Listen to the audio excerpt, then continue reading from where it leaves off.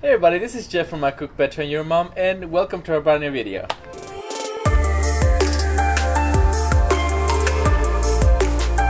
So not that long ago, I had the chance to go to Amsterdam, and it was my first time in the city, and I have to admit that it was I was just so in love with it. Like everything, the architecture, like those little canals everywhere, like people, everything is was just so gorgeous. And well, one of those days, I found this little spot that I'm not going to try to pronounce its name because I'm pretty sure I'm just going to butcher it. So I'm just gonna write it right here. They they had like the most gorgeous menu, and what I ordered was so mind blowing, and I was like, this is so easy. Well, at least it looks easy, I have to say but the, the like the combination of the flavors was just so mind blowing and so brilliant. I was like, this definitely needs to go on one of my videos. So, without any further ado, today's recipe is going to be based on that one. So, let's get into it. Alright guys, so let's start with the meat, right? As you can see, we've got this gorgeous piece of roast beef right here. It's around an inch thick, and this is going to make a gorgeous, very like pink on the inside, but very crusty on the outside type of cut. So, we're gonna treat like a proper steak, right? First of all, we're gonna grab plenty of salt. Very, very important. When you're making steak, always add enough salt to your to your to your meat. So let's do both sides. Now that we've got our salt ready, let's add plenty of pepper as well. I like my steak with a lot of pepper, but by all means you can go with as much as as little as you prefer. So now you can you can try your your musician skills and you can drum your steak. Kind of like that. So what we're doing right now is like we're making sure that all that salt and that pepper is being absorbed by the piece of meat. So this is ready, right?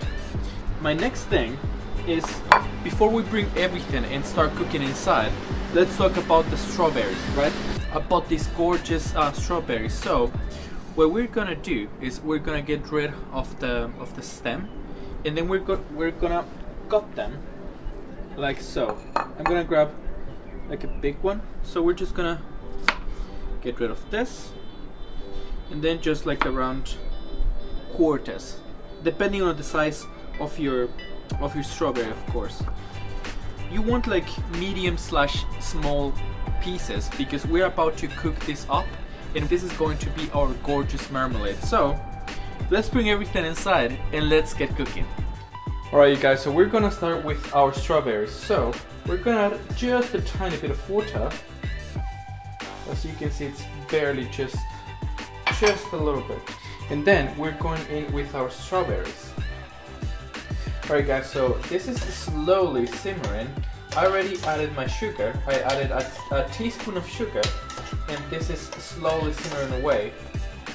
So we're just gonna let this sit there and once it's about to be finished we're going to add our lemon zest and our lemon juice so the sauce now has been cooking for around 5 minutes and all I want to grab is something like this and just smash all those chunks.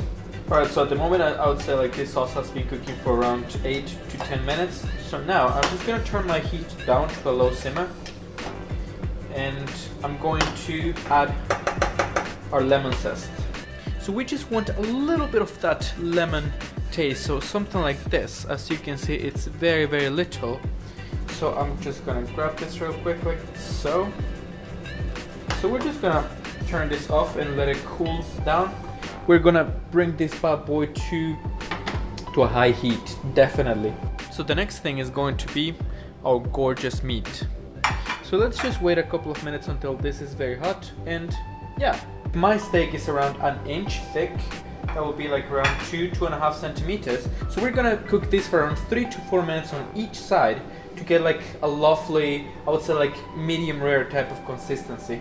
So let's go ahead and add some gorgeous oil and let's go in with our steak.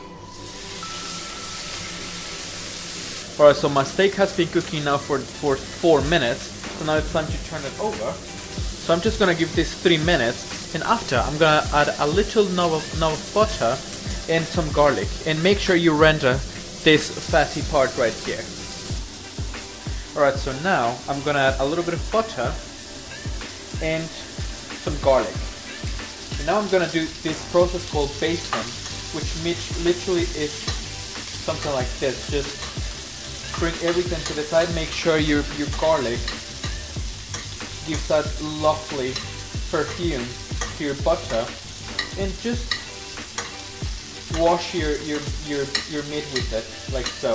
And then, it is very important you guys that we let our steak chill for at least 8 to 10 minutes. So our gorgeous steak has been chilling for the last 10 minutes, so let's see how this turned out. Oh yeah, gorgeous. Let's plate this bad boy up.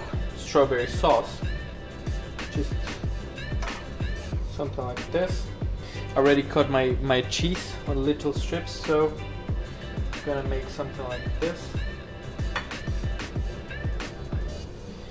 And just top it up with your gorgeous cuts of meat. And there you go. That's exactly what we want. This gorgeous, simple recipe that is gonna blow your mind. Alright guys, so there you have it. Quite a simple recipe as you saw, but absolutely delicious. I really hope you try it at home and before I let you go, just FYI, I've got a second YouTube channel where I talk a lot about photography, video, sound and stuff like that and those little clips that you saw at the beginning they're actually part of a cinematic video that I did of Amsterdam. So, you know, if you want to check it out, make sure you go click on the little corner right there. And of course, if speaking of corners, might as well, right? Go ahead and on that corner you can find the like button. So if you liked it by all means go bananas on there. And on this corner right here you can find the subscribe button. So thank you very much for watching and I'll see you on the next one. Bye